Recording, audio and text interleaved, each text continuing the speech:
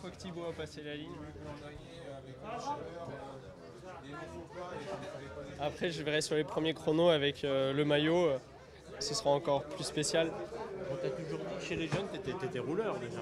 Ouais, ouais, je passe. Enfin, avant grimpeur en plus. ouais, bah en plus, je suis un peu plus lourd que les grimpeurs, donc je pense que je suis peut-être ça à la base, mais après, il y a tu sais, vraiment des spécialistes de chrono, donc euh, c'est toujours difficile. Alors, sur le Dauphiné, vous sembliez presque surpris de votre performance en chrono. Aujourd'hui, vous vous retrouvez champion de France. C'est quoi la chronologie de cette évolution finalement? Bah déjà ouais comme il disait euh, chez Junior j'avais fait pas mal de bons chronos euh, mais après bah, j'ai toujours travaillé ça à la maison ou même en faisant des chronos euh, toutes les années donc euh, je pense que c'est ça qui m'a fait progresser petit à petit. En venant ici sur, enfin, en venant ici sur un chrono de 50 km, vous vous imaginez, vous pouviez devenir champion de France? Alors, on y pense toujours un peu mais après de là à l'être vraiment c'est autre chose.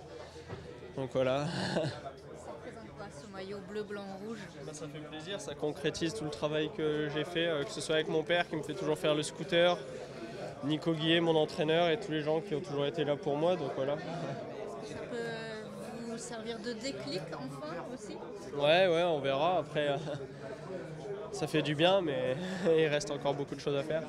Ça vous donne des idées On sait que pour être un bon, un bon coureur en classement général, il faut être bon en montagne. Vous l'avez déjà prouvé vous y étiez sur l'Alto de Aitana l'an passé. Maintenant, vous avez le chrono, vous avez tout ce qu'il faut.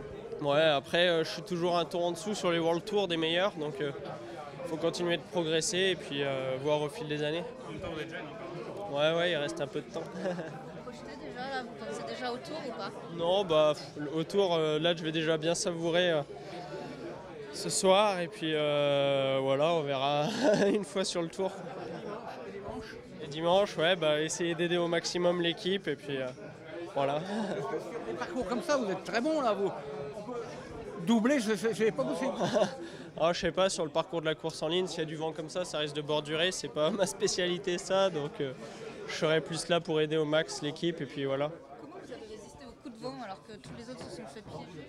Ouais, bah, il y avait pas mal de vent. Après, euh, moi, j'ai souvent mis les mains sur les freins, euh, plutôt comme ça que sur les prolongateurs, parce que j'avais vraiment peur de me prendre une rafale et d'être dans le fossé. Et même comme ça, deux, trois fois, je suis parti pas trop loin du fossé, mais bon, c'est... C'est passé. Ouais.